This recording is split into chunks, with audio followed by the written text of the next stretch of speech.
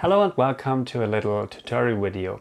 Today I want to talk about seascape photography again and I'll give you a quick overview about my workflow in the field. So how I make sure I come away with a good photo and also how I ensure that my equipment stays dry. So let's head right into it.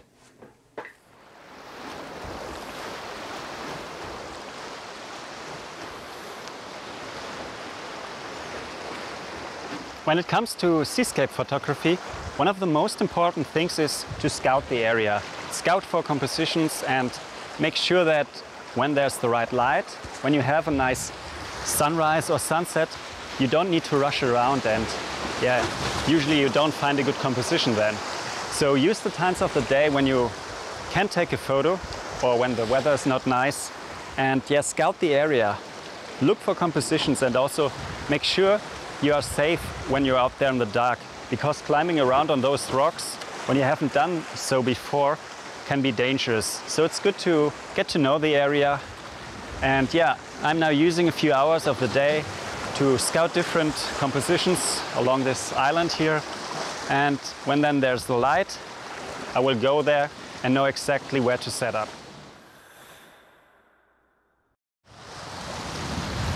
And another thing to look out for when you're at the coast is you have to look how the water behaves. So how are the waves and also you get to know the tides. So for example now it's incoming tide so we're nearly I think half a meter from high tide now and I can see that the rocks here aren't submerged yet. But at high tide for example those will be submerged whereas on low tide I'll have much more rocks to include in the composition. So this is also important to look out for when you're trying to shoot seascapes.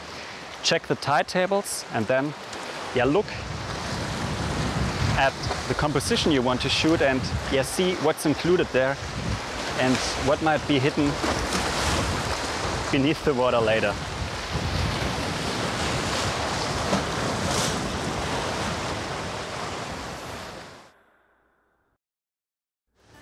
So when the scouting's done and you found some promising area where you find some compositions, the next thing you do is, as usual, you put the tripod away and just explore with the camera alone because this gives you much more flexibility when you're looking for compositions.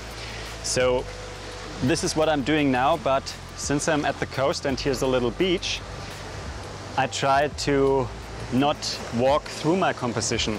So if I just start walking around everywhere, I'll have my footsteps in the composition possibly.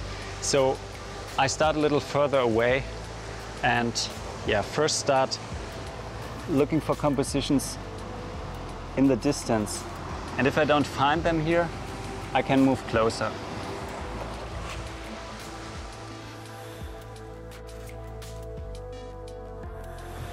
So once you've found your composition, the next step is to set up.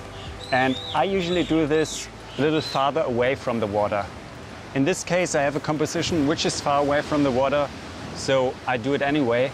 But if I plan to shoot right in the waves, I set up my camera well away from the waves because I also leave my backpack there and yeah, I don't want to get wet while I set up my camera. So I usually do this with enough time away from the water.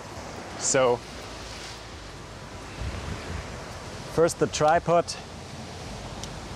then I'll put the camera on it and what I also need is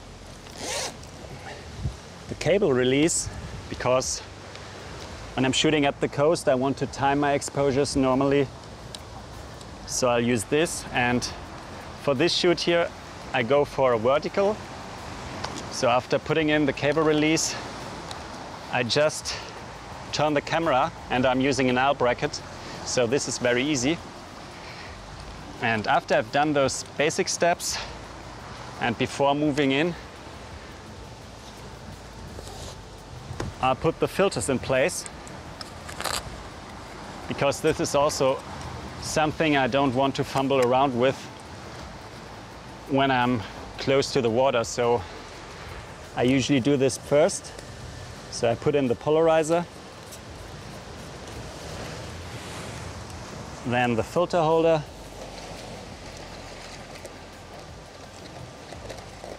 which sometimes takes a little longer.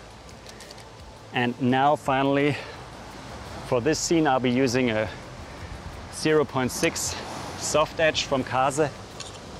I also put this in. And yeah, I want need uh, I don't need the filters, so I leave them at the backpack. I only grab a lens cloth and then I'm basically ready to go and go into the scene, adjust the composition and start shooting. But this is the basic setup.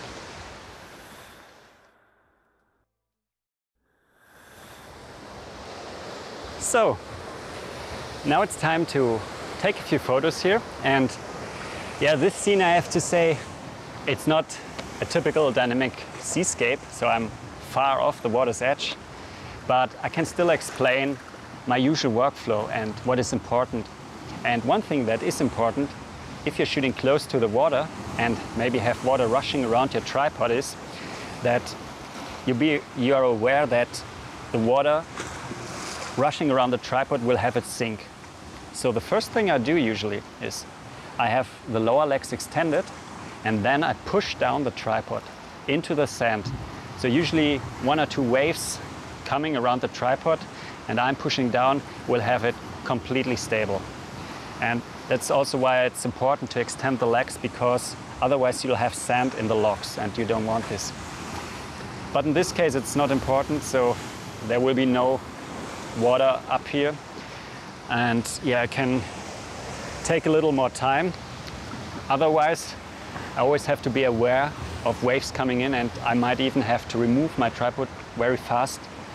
But today, as I said, it's easy. The next step is, if I have time, I try to focus at the background and quickly take the photos. So maybe even with exposure, uh, multiple exposures for HDR. After this shot, I focus right where the action is in the foreground. And yeah, then I use the timer or the cable release and wait for a wave rushing in. And when it flows back, I usually click the shutter. And with exposure times between 0.3 and maybe yeah, one second, it usually works very nicely with the water moving into the scene and this creates some nice dynamic. And yeah, after this explanation, I'll now take the photos, although here, as you can see, there's no action going on. But I'll make sure to find another suitable scene the next days and film it for you also, so you see how the normal workflow will look. So I hope you liked this little tutorial and it will help you on your next seascape shoot. And yeah, if so, please leave a thumbs up, subscribe and also if you have questions or suggestions, just leave a comment. See you!